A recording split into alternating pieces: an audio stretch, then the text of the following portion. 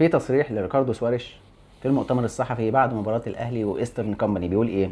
أنا مبسوط في الأهلي ولا أنظر إلى ما يتم كتابته حولي منذ قدومي إلى النادي. لو هنتكلم في شهادة الحق، شهادة الحق الراجل ده من ساعة ما جه النادي وهو مظلوم. أولاً ال quality بتاع اللعيبة مش حلو، أنت بتتكلم في لعيبة ناشئة التحكيم زي الزفت عندنا في مصر. آه، مجمل من ساعة ما جه لحد دلوقتي هو شايف فيه تخبيط. فغصب عنه تقريبا اللي بيحصل حواليه أو اللي بيحصل دلوقتي مع الأهلي في الدوري المصري هو ده خارج عن إرادته. وفروا له اللي كان بيتوفر قبل كده للمدربين من اللي قبل كده وبعد كده تعالوا حاسبوه.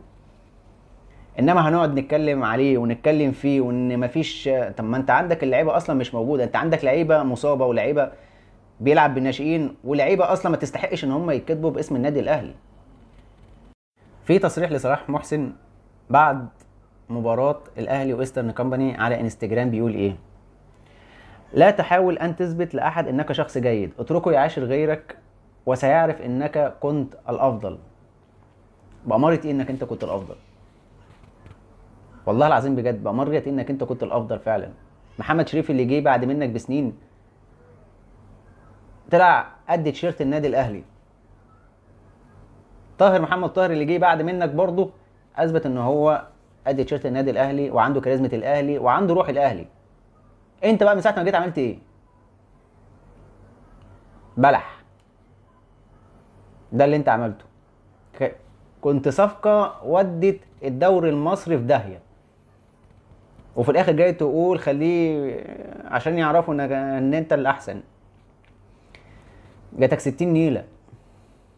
في تصريح لمرتضى منصور عن محمد صبحي حارس مرمى نادي فاركو. بيقول إيه؟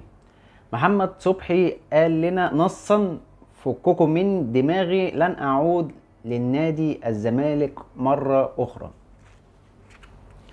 طيب أنت ليه عامل دبكة على لاعب؟ ما أنت كده أو كده هيجي هيقعد دكة. وأنت تقريبا عندك حارس مرمى تاني. يعني انت هتجيب لاعب هو أصلا بيلعب في فاركو اساسي هتجيبه مخصوص عشان خاطر تقعدوا دكة. طب ليه؟ ما ليه حق يقول لك اللي هو عايزه؟ ما كان عندك قبل كده وقعدته دكة لحد ما مشي لحد ما نادي فاركو أول ما طلع اشتراه منك. انت بقى محتاج منه إيه؟ ولا حاجة. بس هي فاهمين أنتوا ها؟ في تصريح لحسين لبيب رئيس النادي الزمالك اللي كان موجود احتياطي مكان مرتضى منصور. فبيسألوه بيقولوا له على حوار إخفاء خطاب إيقاف القيد للنادي الزمالك. فراح جاي ردد عليهم وراح جاي قال لهم إيه؟ كل شخص وله مهاراته. ما هو أنا مش فاهم برضه يعني إيه كل شخص وله مهاراته. إيه كنت بترقص بالخطاب تقريبا آه، اتحاد الكورة ولا إيه؟ ما هي معناها كده. معناها إنك أنت غفلت اتحاد الكورة. أو اتحاد الكورة إن هو شايف حاجة زي كده وساكت.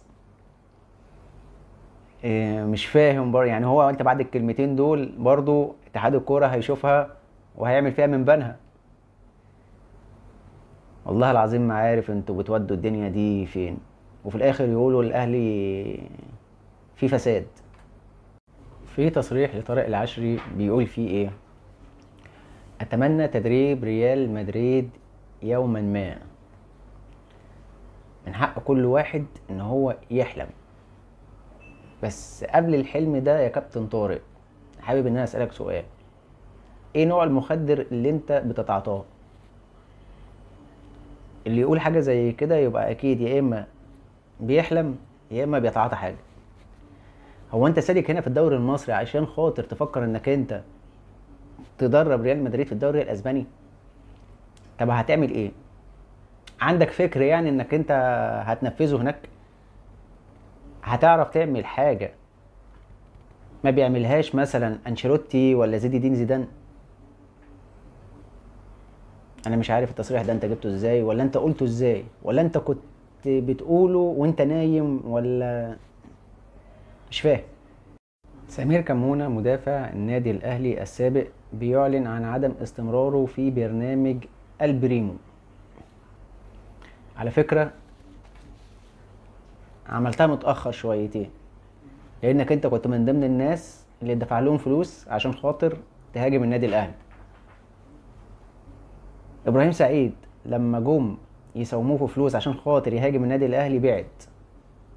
بعد وأعلن انتمائه إن هو بعد ما كان بيقول إن أنا زملكاوي عشان كرامته كانت ناقحة عليه من ناحية النادي الأهلي وقال إن هو زملكاوي أول ما لقى إن في هجوم هيحصل على النادي الأهلي عشان يوقعوا النادي الأهلي ما كملش. أنت كملت. أنت مع رضا عبد العال. جمهور الأهلي ما بينساش. ومش هينسى اللقطة دي. معاك أنت. طبعا في نهاية الحلقة ما تنساش تعمل subscribe للقناة وتفعل زر الجرس عشان يوصلك كل جديد بتاعي ويا ريت ما تنساش تدعمني ب like.